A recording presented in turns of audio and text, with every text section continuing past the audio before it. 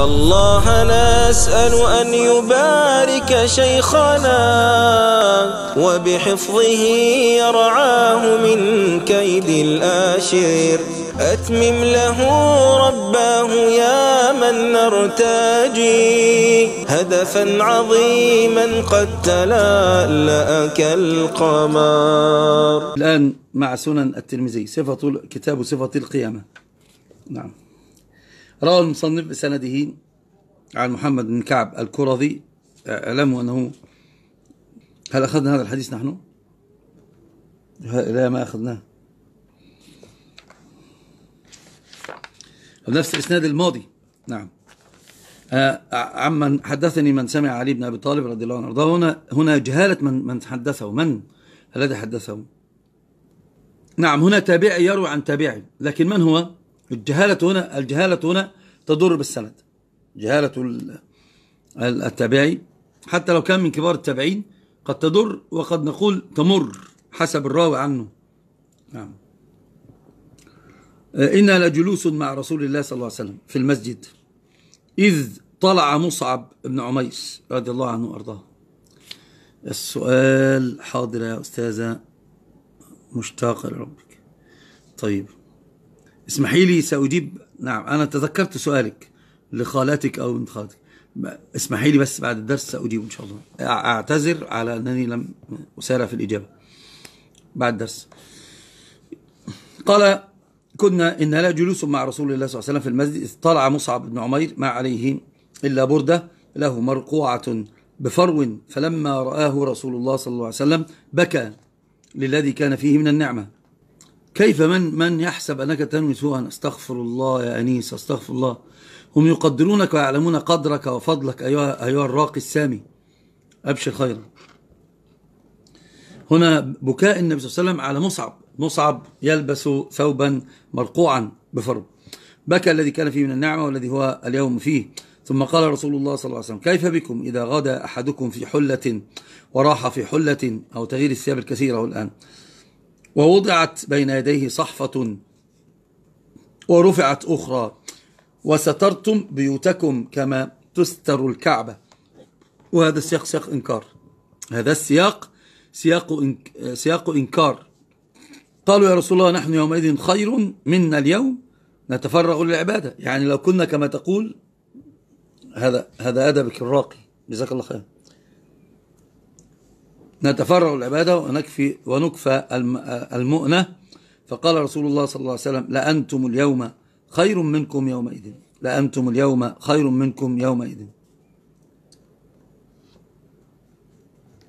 وقال الترمذي هذا حديث حسن غريب والحق كما قلت فيه فيه راو مجهول. نعم. كان الله عونك أم أنس. قال وزيد بن زياد هو ابن ميسرة وهو مدني وقد روى عنه مالك بن أنس وغير واحد من أهل العلم. ويزيد بن زياد الدمشقي الذي روى عنه عن الزهري وروى عنه وكيع ومروان بن عامر كل الحق الإسناد ثقات لكن الإسناد الذي فيه هو هو جهالة من روى عنه محمد بن كعب القرظي. يقول بأن كنا جلوس مع النبي صلى الله عليه وسلم. فيها دلالة على أن العالم يعني يحتفي به الطلبة ويجلس معهم وهذا من تواضع النبي صلى الله عليه وسلم. فالنبي صلى الله عليه وسلم من تواضعه كان يجلس مع أصحابه حتى في الفجر كان يصلي ويجلس ويجلسون ثم يتحدثون. ما كانوا يفعلون بأنهم يجعلون أصناما من التمر ومن العجوة في الليل يعبدونها وفي الليل في النهار يعبدونها وفي الليل يأكلونها وكانوا يضحكون. اللهم آمين اللهم آمين. رضي الله عنك نور القرآن. أحسن الله عليكم. فكانوا يفعلون ذلك فكان النبي صلى الله عليه وسلم يبتسم لا يزيد عن أن يبتسم وهم يضحكون وهم يضحكون يمرحون ويتمايلون مع النبي صلى الله عليه وسلم على ما كانوا على ما كانوا يفعلون. وكان النبي صلى الله عليه وسلم يحب أن يجلس مع مع أصحابه. فقالوا إن لجلوس مع رسول الله صلى الله عليه وسلم. إذ طلع مصعب بن عمير ما عليه إلا بردة له مرقوعة بفر بردة واحدة. قلنا المسألة الأولى مسألة تواضع النبي صلى الله عليه وسلم وجلوس النبي مع الصحابة الكرام حوله. دخول مصعب بن عمير مصعب بن عمير لتعلموا من مصعب بن عمير ولما بكاء النبي صلى الله عليه وسلم. مصعب بن عمير رضي الله عنه كانت النساء تتحدث بعطره. كانوا إذا مر علم علمنا النساء أن الذي يمر هو مصعب بن عمير ويعرفونه بعطره من أهل مكة جميعا. لما دعب الإمام بشاشة أو بشاشة الإمام دعبت القلب وأعمقت ونقشت واستقرت في القلب باع الدنيا بأسرها. باع الدنيا بأسرها. ثم ذهب فكان للنبي صلى الله عليه وسلم في في في المدينة. ومن أعظم ما فعل مصعب رضي الله عنه يعني شاطر أهل الأنصار أسلموا على يديه. كفى كفى بخيرية مصعب بن عمير أنه أسلم على يديه سعد بن معاذ. سعد بن معاذ الذي اهتز عرش الرحمن فرحا بقدومه لربه جل في علاه. سعد بن معاذ لما جاء عليه فوجده يقرأ القرآن على عبد الله بن رواحة ومعه آخر فقال سعد بن معاذ يا هذا لا تغشانا مجالسنا. كن في مكانك ومن أحب أن يسمع لك يذهب إليك. هنا كلام أيضا المنصفين يعني لم يكن ظالما ولم يكن ولم يكن جاحدا ولم يكن منتقصا قال يا هذا من أرادك منا يأتيك فكن في مكانك. فقال له أو غير ذلك؟ انظر هنا وهو جاي سيد المدينة سيد الأنصار. قال له أو غير ذلك؟ قال وما ذلك؟ يعني إيش هو غير ذلك؟ ماذا, ماذا تريد؟ قال له أن تجلس فتستمع. فإن أعجبك الحمد لله هذا المراد. وإلا فعلنا ما تأمر أنت به. وكان مؤدبا مهذبا مصعب. وكان الله قد أطلق لسانه ليجعل ليجعله سببا رئيسا في إسلام سعد بن معاذ. فجلس سعد بن معاذ فسمع القرآن فدخل دخل الإمام في قلبه سريعا. فقال له سعد بن معاذ بعدما أسلم بعدما قبل أن قبل أن يستمع قال له أنصفت فجلس فاستمع فدخل الإسلام فذهب إلى قومه فأسلموا جميعا خلفه فانظروا كيف فضل مصعب في هذا الباب. مصعب ترك الدنيا وطلقها وزهد فيها من أجل ربه جل في علاه. فكان الأمر على خير وفي خير والخير كل الخير كان فيه. الخير كل الخير في ذلك. رضي الله عنه وأرضاه. ف أنت مؤدب مهذب ليس فيك ذلك. فرآه النبي صلى الله عليه وسلم رآه بعد بعد بعد الترفيه الذي كان فيه بعد النعيم الذي كان فيه. ماذا ماذا رأى منه؟ راه النبي صلى الله عليه وسلم بثوب مرقوع. عليه بردة مرقوعة بفر فلما رآه بكى النبي صلى الله عليه وسلم. بكى على حالي طبعا لأنه كان كان منعما في أهله كان مكرما كان النساء كنا يعلمن من مصعب عندما يمر من عطره. فلذلك قال الراوي يقول فلما رآه رسول الله صلى الله عليه وسلم هو علي بن أبي طالب بكى للذي كان فيه من النعمة والذي هو فيه اليوم. لكنه كان في عزة وكان في في رفعة. مصعب بن عمير كان أشبه الناس بالنبي صلى الله عليه وسلم. لما قتل في غزوة أحد قالوا قتلنا قتلنا محمدا صلى الله عليه وسلم. كم له عند الله؟ جل في علاه. كم له عند الله؟ لم يعجل له أي طيبات من الطيبات. حتى في كفنه كفنوه في في في في في بردة أو في قميص إذا إذا غطوا رأسه بدت رجلاه وإذا غطوا الرجل بدت رأسه. فجاء أتوا بالعشب على رجله من أجل إكمال كفن مصعب بن عمير رضي الله عنه وارضاه. وكم لهما عند الله جل, جل في علاه. هكذا كان الصحابة. طلقوا الدنيا صدقا لله جل في علاه. فقبلها منهم الله جل في علاه. لأن هذه تعاقد. هذا بيع وتعاقد. تعاقد. قال الله تعالى إن الله اشترى اشترى من المؤمنين أنفسهم وأموالهم بأن لهم الجنة. فلذلك بكى النبي صلى الله عليه وسلم ثم قال كيف بكم إذا غدا يتكلم هنا؟ هذه من معجزات من علامات النبوة. معجزة لأنه أخبر بالغيب والقاعدة العامة عند أهل العقائد كل إخبار بالغيوب علامة من علامات النبوة. كل إخبار بالغيوب علامة من علامات النبوة. فأخبر النبي صلى الله عليه وسلم قال كيف بكم إذا غدا أحدكم في حلة ثوب نظيف رداء وإزار إذا غدا في حلة وراح في حلة. الآن يمكن التغيير في كل وقت. وسع الله على المسلمين. قال إذا غدا أحدكم في حلة وراح في حلة ووضعت بين يديه صحفة ورفعت أخرى ونحن قريبا تكلمنا أنهم كانوا يكتفون بتمرة واحدة في اليوم رضي الله عنهم وأرضاهم. في الشط الشطر الأول صباحا الشطر الثاني مساء ويمصون النوى ليلا. نعم. قال وضعت بين يديه صحفة ورفعت أخرى وسترتهم بيوت وسترتم وسترتم بيوتكم. طبعا هنا وضعت صح صحفة والنبي صلى الله عليه وسلم يعني يمر الشهر والشهران لا يوقد في بيته نار بأبي هو وأمي. النبي صلى الله عليه وسلم كان صائما ومن شوقه للحم لما ورد البرمة على النار أفطر. وقال أفطرت هات الطعام. فلما وضعت الزيت والخل قال ما هذا؟ ألم أرى البرمة على على النار أفطر من أجل هذا؟ والنبي كان يحب اللحم. شوف الغرض المقصود إنه يمر الشهر والشهران عن النبي صلى الله عليه وسلم لا لا يوقد نار في بيت النبي صلى الله عليه وسلم. ما عندهم إلا الأسودان التمر والماء. لذلك اختارهم اختارهم الله جل جل في علاه اختيارا تاما لصحبة النبي صلى الله عليه وسلم. قال كيف بكم إذا غدا أحدكم في حلة وراح في حلة؟ ووضعت بين يديه صحفة ورفعت أخرى دلالة على التوسعة عليهم. وسترتم بيوتكم كما تستر الكعبة. هنا الحق أن السياق السياق إلى الآن لا يثبت إنكارا بل هو إخبار بما سيكون من الفتح بما يكون من التوسعة بما يكون من, من الخيرات التي تكون لهم بعدما زاهدوا يعني الثمرة يهدبها أحدهم. قال رحى في حلة وجاء في حلة ووضعت الصحفة. نعم. قال واسترتم بيوتكم كما تستر الكعبة. قالوا يا رسول الله نحن يومئذ خير منا اليوم. يعني لو في هذا لو كنا في هذا بأننا نلبس حلة ونخلع حلة وتأتي الصحفة ونأكل بصحفة أخرى وستر البيت بالستائر يعني. قال قالوا نحن اليوم خير لأننا كفينا. شوفوا ما عللوا هنا الآن. خير من اليوم نتفرغ للعبادة. لأننا لا لا ننشغل برزق ولا بمال ولا بطعام ولا بشراب. انتهينا.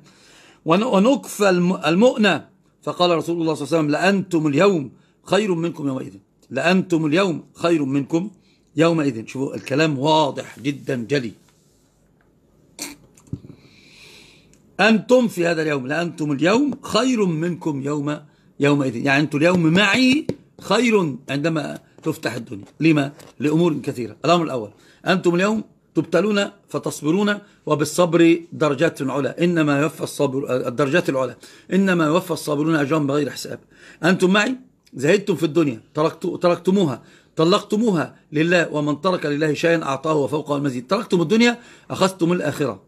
ورد الله عليكم أموالكم وأنفسكم في الجنة. وملككم ما في الجنة. وملككم ما في الجنة. انظر هنا في هذا الباب كيف فعل الله بعباده وكيف من الله عليهم منة عظيمة في هذا الباب. قال قال وسترتم بيوتكم كما تستر الكعبة. قالوا يا رسول الله نحن يومئذ خير منا اليوم نتفرغ للعبادة ونكفى المؤنة. فقال رسول الله لا لأنتم اليوم خير منكم يوم يومئذ. أيضا القتال مع النبي صلى الله عليه وسلم شرف الصحبة شرف بيع النفس من أجل الفداء لرسول الله فداك أبي وأمي. وطلحة يقول يا رسول الله ارفع رأسك يقول اخفض رأسك فلا فلا تأتيك يأتيك سهم من سهام القوم. فقال وكان يصد قال بيده هكذا يصد السيوف عن يد رسول الله صلى الله عليه وسلم أو عن النبي صلى الله عليه وسلم حتى شلت يده. لما جاء أبو بكر وعمر قال دونكم صاحبكم فقد أوجب أوجب الجنة بما فعل. صدقوا الله فصدقهم الله. أنزل الله فيهم قرآن يوم القيامة. من المؤمنين رجال صدقوا ما عهدوا الله عليه. فمنهم من قضى نحبه ومنهم من ينتظر. وقال الله عنهم إذ جاءوكم من فوقهم ومن أسفل منكم أزداغت الأبصار وبلغت القلوب الحناجر وتظنون بالله الظنون هنالك أبتلى المؤمنون وزلزلوا زلزالا شديدا. شوف هنا بعدها قال ماذا قالوا ماذا قالوا؟ قالوا هذا ما وعدنا الله ورسوله وصدق الله ورسوله. أما في التوسعة المسألة أقل وفي التوسعة الإيمان يعني يخف وفي التوسعة يميل المرء للدعة وللسرور وأيضا يركن إلى الدنيا والركون إلى الدنيا مهلكة ليست بعدها مهلكة. وطول الأمل وغير ذلك وليس بينهم من مثل رسول الله صلى الله عليه وسلم. هذا ليس من الفقه. إن كنت في درس علم والواجب هنا واجب موسع تجلسين إلى أن انتهي المجلس وأن تصلي. هذا الأفضل لك. نعم. قال أنتم اليوم خير منكم يومئذ. يعني أنتم اليوم معي في الزهد وفي بيع النفس الحق لله جل في علاه وأيضا في طلب الأخيرة دون الدنيا وعلمت وعلمتم أن الدنيا مرحلة يعني معبرة وليست مستقرا فلكم في هذا الباب. الله أكبر. بل هو لابد أن يقال فضل الصحبة فضل المتابعة فضل الصدق فضل السبق فضل السبق يساوي الدرجات العلى. يكون بذلك في منزلة في منزلة النبي في الفردوس الأعلى. الله المستعان. الله المستعان. وما اختارهم الله جل في علاه لصحبة نبيه صلى الله عليه وسلم إلا على عين عنده. اصطنعهم الله جل في علاه. نظر الله في قلوب العباد فوجد أصفاها وأنقاها وأتقاها قلب محمد صلى الله عليه وسلم. فجعلهم فجعل فاصطفاه لنبوته ورسالته. ونظر الله في قلوب العباد فوجد أصفاها وأنقاها وأتقاها قلوب أصحابه فاصطفاهم لصحبة نبيه صلى الله عليه وسلم. ولنصرة دينه رحماك ربي رحماك. نعم. اللهم إنك تعلم أننا نحبهم ويعلم الله جل في علاه كم لهم في القلوب من محبة ونسأل الله جل في علاه أن يجعلنا من ناصريهم ونسأل الله في عليائه أن يجعلنا من مرافقيهم مع النبي صلى الله عليه وسلم في الفردوس الأعلى. اللهم أمين يا رب العالمين. بقوله وسترتم بيوتكم كما تستر الكعبة لما قال النبي صلى الله عليه وسلم لأنتم خير من, من أنتم اليوم خير منكم يومئذ بين أن أن السياق أيضا سياق ذم ليس سياق مدح. أو سياق إقرار. يعني على الأقل يكون خلاف الأولى. لكن في قول استترتم الكعبة استترتم كما تستر الكعبة فيها دلالة على على عدم جواز. وإن كان قد ورد الأئمة الأربعة يقولون بأنها, بأنها على الكراهة والظاهرية يرون أنها على الوجوب. لكن ورد أن عائشة سترت وأن فاطمة سترت. ولما سترت بستر فيه فيه فيه صور أنكر النبي لا على الستر لكن أنكر على القرام, القرام الذي فيه التصوير قال أميتي عنا قرامك هذا أميتي عنا قرامك, قرامك هذا. الهاني آنفا في الصلاة. فكان للصور. نعم. فالصحيح أن نقول لا يستر إلا المنافذ لا يستر إلا المنافذ حتى حتى ما يكون مثل الكعبة حتى لا يكون مثل مثل الكعبة. فهذه مشكلة كبيرة بأنه يتشبه في الستر بالكعبة. آه، ستر الجدران كان للكعبة فقط. فإذا يعني بين النبي صلى الله عليه وسلم كراهية ذلك. أيوب لما دخل على ابن عمر أو كان كان في عرس له فوجد الجدران قد سطرت. قال له ما هذا يا ابن عمر؟ وابن عمر كان كان رجلا آه، من من من يعني من الأثر بمكان قالوا يا ابن عمر ما هذا؟ كيف تع... كيف تستر الجدران وتعلم أن النبي نهى عنها. قال ابن عمر ما هذا؟ قال غلب علينا النساء. فرجع أبو أيوب وما دخل. رجع أبو أيوب وما دخل. فالستاره التي نراها نحن عندنا في بيوتاتنا كلها على الكراهة ويغفر الله لنا. والأصل أن الستر الذي يجوز هو ستر الستر الستر المنافس فقط. لا ينزل عنه لا يزيد عنه لا يزيد عنه. نسأل الله جل وعلا أن يستعملنا ولا يستبدلنا. ويعلم الله جل وعلا كيف وكم نحب هؤلاء القوم ولا نعيش مع غيرهم بل نعيش معهم. الفوائد المستنبطة زنة المرء بحسن خلقه. زنة المرء بحسن خلقه. لا إنكار على التوسعة ولكن الإنكار على عدم الشكر عليها. والخوف من, من أن تكون ملهات للعبد. قد استدلوا بها على أن الفقير الصابر خير من الغني الشاكر لأن هذه الحالة التي اختارها الله لنبيه صلى الله عليه وسلم. ولشيخنا همة علت الثريا فنالت من فنون الدين ريا ولشيخنا همة علت الثريا فنالت من فنون الدين ريا. فذافق كسقي الماء كانا وتلك عقيدة السلف النقيا. وتلك عقيدة السلف النقيا. فأخلص نية ربي وبارك على شيخ نبيل الخلق طاح المحيا.